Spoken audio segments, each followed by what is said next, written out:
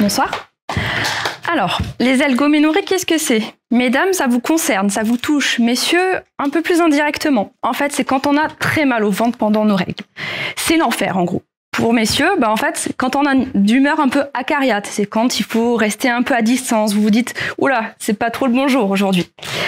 Alors, c'est pas le bonjour, ok, on a mal au ventre, mais c'est pas normal. C'est pas quelque chose de normal d'avoir mal au ventre pendant qu'on a ses règles. Et pourtant, pourtant, plus de la moitié des femmes sont atteintes. C'est-à-dire que dans cette salle, mesdames, il y en a au moins une sur deux qui a mal au ventre pendant ses règles.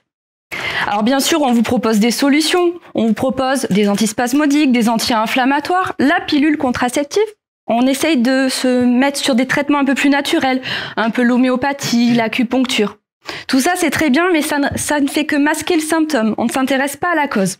Et ça tombe bien, nous, nous sommes ostéopathes ou en devenir?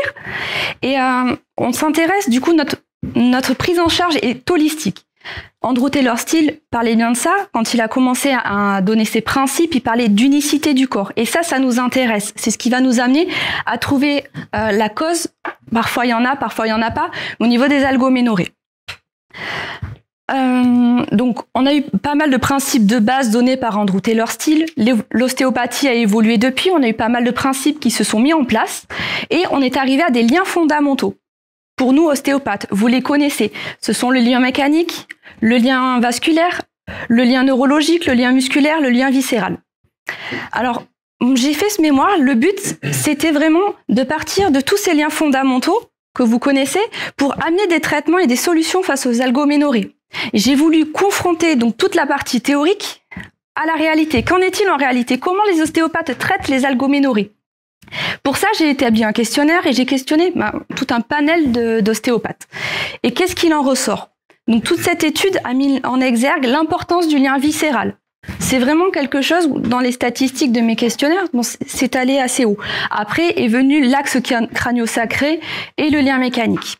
Donc pour revenir à ce lien viscéral, bah, c'est quelque chose qui a primé et on peut l'expliquer par tout ce qui est interrelation entre chaque organe. Donc l'utérus est ton organe, mais autour de lui, bah, il y a tout, euh, tout un tas de voisins d'organes. Alors le but n'était pas forcément que de mettre en enfin que de mettre en avant ce lien viscéral. Le but c'est de faire connaître la prise en charge des algoménorrhées. Il y a beaucoup trop de femmes qui souffrent d'algoménorrhées. C'est encore quelque chose de, peu connu. On, dit mais c'est normal d'avoir mal au ventre. Non, ça ne l'est pas. Et je voulais que ce mémoire mette en avant les algoménorrhées et qu'on trouve des solutions. Et bien plus important bien sûr, c'est de faire connaître notre prise en charge auprès des médecins, auprès des sages-femmes, auprès de surtout toutes ces femmes qui souffrent et euh, de leur mari qui compatit plus ou moins. Voilà. Merci.